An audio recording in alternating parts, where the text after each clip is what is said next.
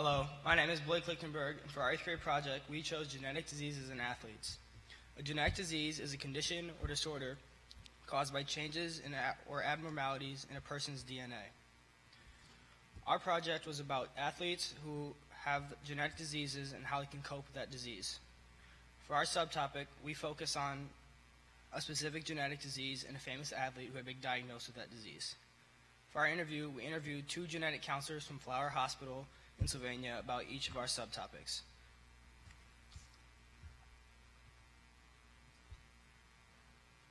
Epilepsy is a genetic disease that causes people to have unannounced seizures. It's a very dangerous disease that can harm anyone that is diagnosed. Some common symptoms include headaches, depression, fatigue, or amnesia. Epilepsy was first discovered by Hans Berger in the 1920s. Sports can be a problem for some people with it, but if you always have it, medical attention nearby if help is needed. Epilepsy and Florence Griffith Joyner. A famous athlete with epilepsy was Florence Griffith Joyner. Joyner passed away from a seizure in her sleep on September 21st, 1998. She was an Olympic athlete that was just starting to make her mark. This shows epilepsy is a very harmful and dangerous disease.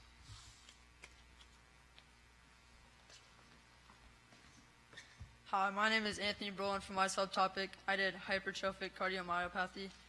HCM is a heart disease where the heart becomes abnormally thick. Because the heart is thick, it makes it harder to pump blood. This leads to symptoms like shortness of breath, chest pains, sudden fainting, and an irregular heartbeat. Because of the heart problem, there are extreme risks at playing physical and active sports or activities. The condi- condition can't be cured, but there are treatments that can help. When people get diagnosed, they're usually in their 20s or, or older. That's when symptoms get more serious. This is because the heart muscle gets bigger as time goes on. An athlete by the name of Hank Gathers was diagnosed with HCM mid basketball season after he collapsed on the court. He played for Loyola Marymount, a Division One school. Although one day in a tournament in 1990, he had more, a more devastating collapse. This collapse was more serious and required more medical attention. Later that night, he died in the ER.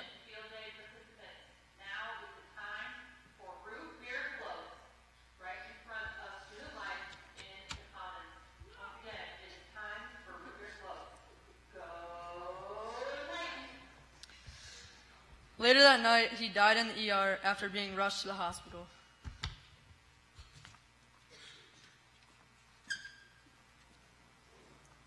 Hi, my name is Ryan Smith, and my subtopic is sickle cell disease.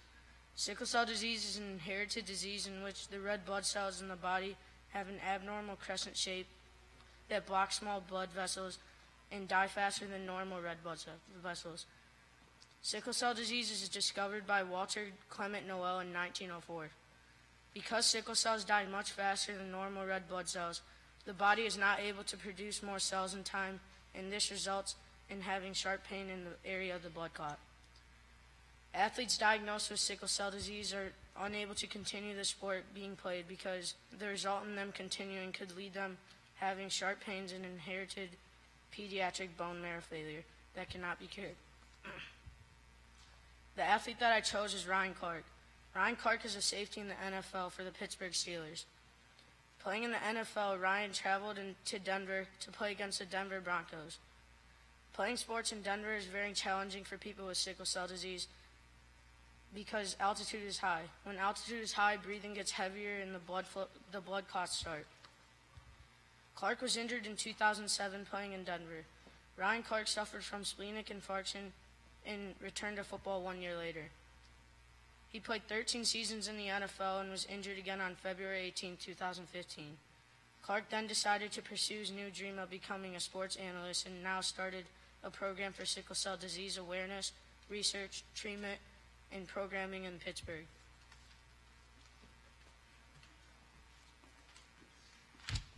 Hi, my name is Zane Zider. For my subtopic to go along with my presentation, I chose Marfan syndrome and Isaiah Austin's experience with this disease. Marfan syndrome is a genetic disorder involving the body's connective tissue. Marfan was first discovered by Antoine Marfan in 1896 when examining a young girl with long fingers and limbs. This syndrome most commonly affects the heart, eyes, blood vessels, and skeleton. Although it is very hard to play sports of high intensity, few athletes are able to play sports like basketball, volleyball, etc. This syndrome affects about 1 in 3 to 5,000 people worldwide and is required question on the Ohio Physical Examination. The main and most common and most deadly problem along with Marfan is aortic enlargement. This is when the aorta, the main artery in the heart, gets enlarged. As a result, this can lead to the tear in the aorta. Some of the main symptoms include aortic enlargement and other heart problems, scoliosis, long fingers and limbs, and, in- and increased hypermobility of muscles. Like previously mentioned, Isaiah Austin is one of the most prominent, prominent athletes with, along with Marfan syndrome. Isaiah was born on October 25th, 1993. He was diagnosed just days before the 2014 NBA draft and was declared ineligible to play by the league. He, was, he has most of the main symptoms of Marfan, including a detached retina in the eye, aortic enlargement in the heart, and long limbs and fingers. Isaiah is currently playing professional basketball for the Nanjing Monkey King in the Chinese Basketball Association. But will, it will always be his dream to play in the NBA. After leaving Baylor University as a sophomore, after his sophomore year to play in the NBA, and after he was declared ineligible to play by the league, he founded the Isaiah Austin Foundation. This organization is designed for the awareness and research of Marfan and, that, and the people affected by it. His mission to those with this disease is to be able to dream again.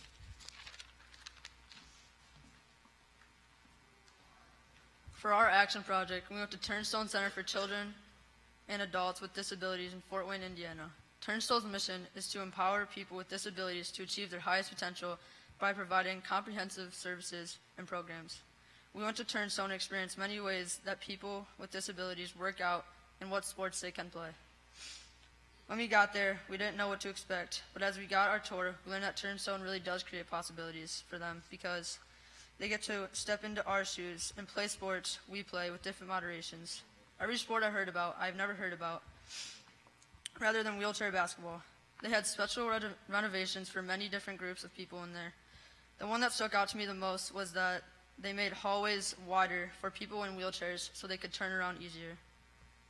When we were there, we interacted with kids our age who were practicing for wheelchair basketball. They let us they let us get in the wheelchairs and scrimmage the team. It was a great experience for us to play the team and see how much fun it was, even though they beat us by quite a bit. They were training for the Special Olympics, so they were obviously skilled and experienced, it. Turnstone was a great experience to see how they helped people with disabilities.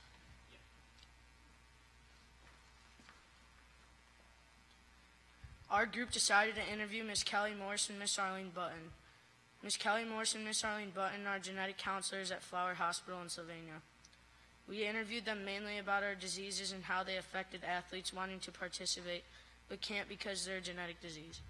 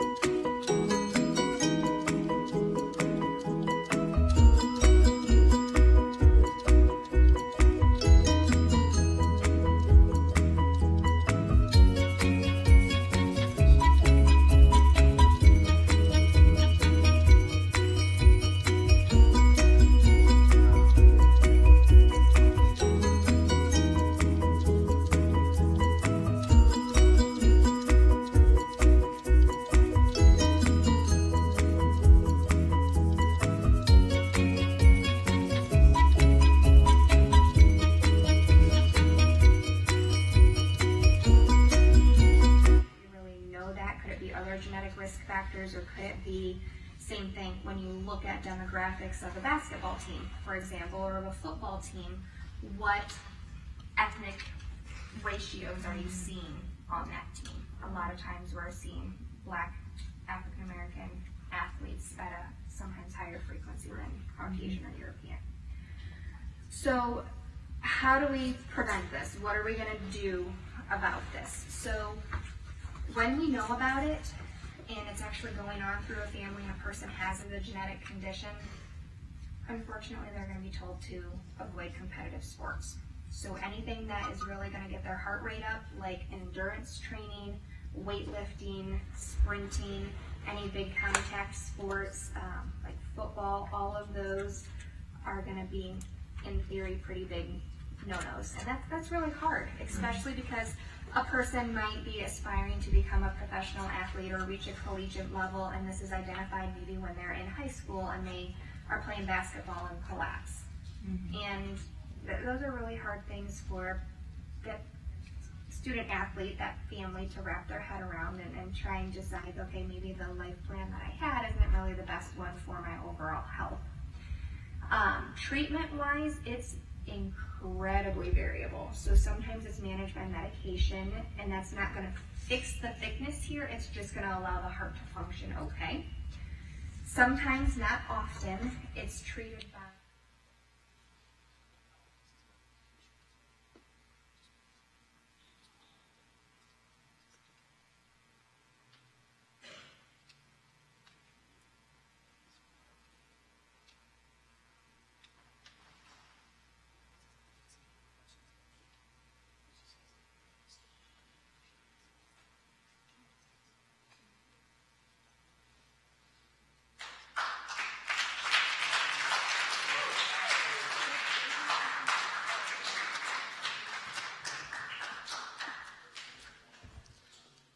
In conclusion, our group researched genetic diseases in athletes. We found that some people with genetic diseases can continue to play at an extremely high level. However, for some athletes with genetic diseases, modifications may be needed with the equipment or with the game itself in order for the athletes to fully participate. In the future, we hope to promote a facility similar, similar to Turnstone in the Toledo area to meet the needs of athletes with special needs. Thank you for watching our presentation.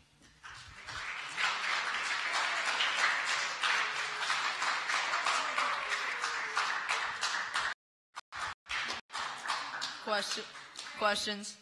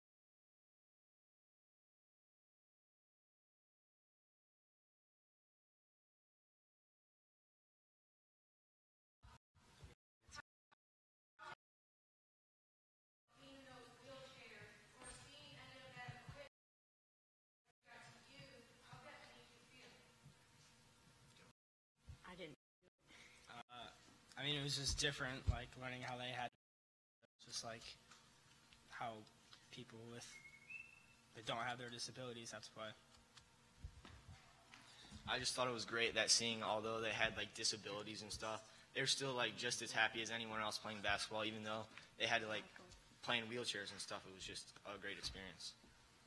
I mean, it was actually kind of fun in the wheelchairs. It was kind of hard though.